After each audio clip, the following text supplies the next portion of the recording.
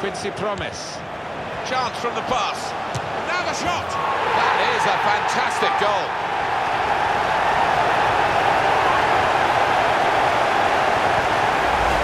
Talk about placing it. He knew exactly what he wanted to do with it.